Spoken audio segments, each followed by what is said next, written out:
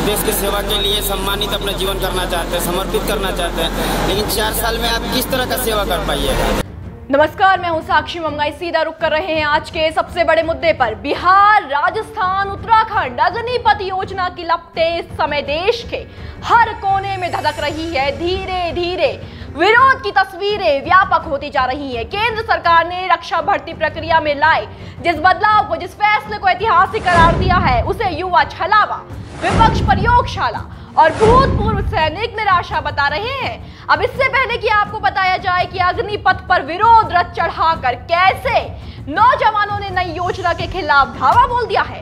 एक नज़र इस पर कि योजना का शुभारंभ कैसे बन बैठा विरोध का प्रारंभ।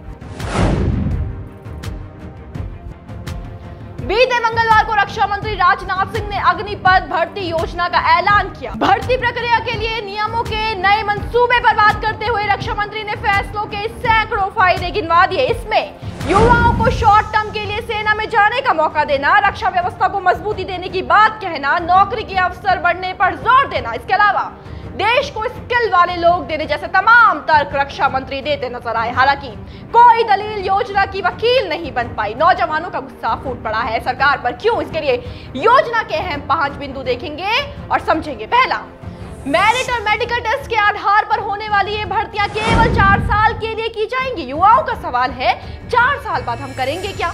दूसरा सिर्फ़ 25 फ़ीसदी अग्निवीरों देखिए अग्निवीर उन जवानों को कहा जाएगा जो अग्निपथ भर्ती योजना से सेना में आए हैं।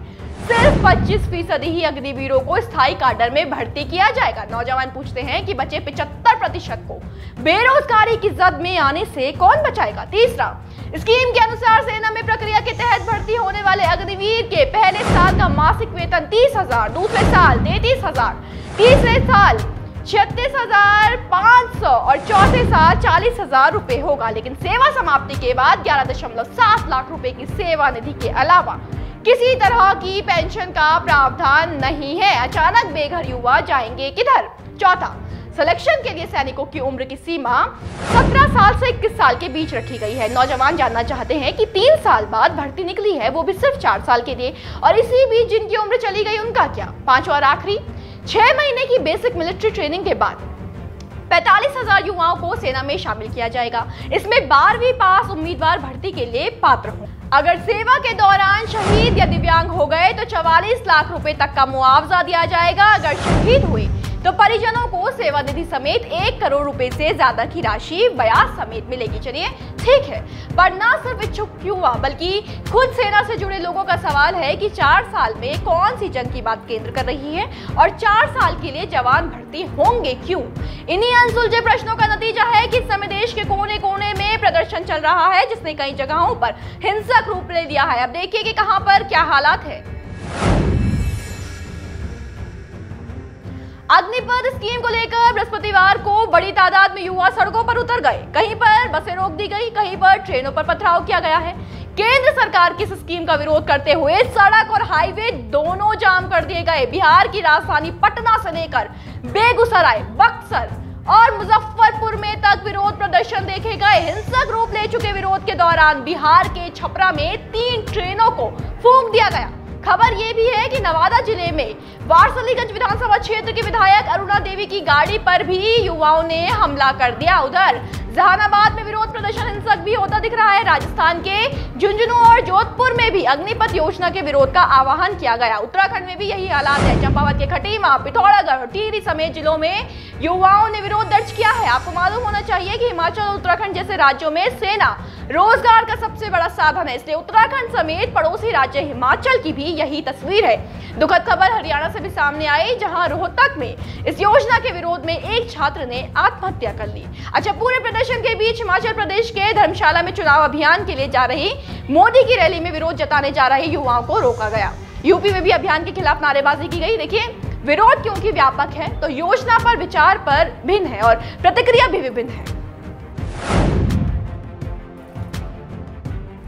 मोदी सरकार के सेना की भर्ती प्रक्रिया में किए गए इस बड़े बदलाव के बाद विपक्ष, सैन्य अधिकारियों और भूतपूर्व सैनिकों से अलग अलग जवाब मिले हैं। कांग्रेस महासचिव प्रियंका गांधी वाड्रा ने सरकार पर प्रहार किया और सवाल किया कि बीजेपी सरकार सेना भर्ती को अपनी प्रयोगशाला क्यों बना रही है?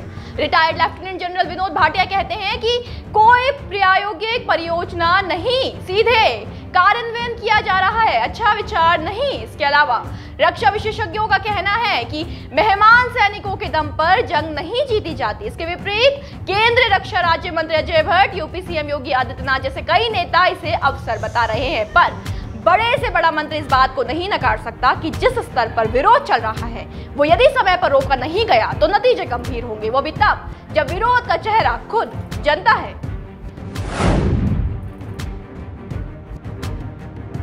मोदी सरकार के लिए विरोधियों से निपटना बाएँ हाथ का खेल हो सकता है, लेकिन जब भीड़ भड़क जाती है तो सरकार की भी गले गले आ जाती है, जो स्वाभाविक है। प्रदर्शन की पोशाक अगर जनता ने पहनी हो तो फिर स्थिति की गंभीरता आप समझ सकते हैं। समझिए कि ये वो कूच है, जिसका नेतृत्व कोई राजनीतिक पार्टी नहीं कर रही है। अन्याय के विरुद्ध उठी आवाज़ भी जनता है और बार भी जनता। ऐसे में देखना होगा कि कैसे माहौल को संवेदनशीलता के उस स्तर पर जाने से सरकार रोकती है, जहाँ युवाओं के पारे को ठंडा न किया जा सके। मामले में केंद्र कदम पीछे खींचेगी, या वक्त रहते जनता सरकार के हाथों रीझेगी। जानने के लिए बस बने रहिएगा, देवभूमि इंसाइडर के साथ। आज ही डाउनलोड करें देवभूमि इंसाइडर ऐप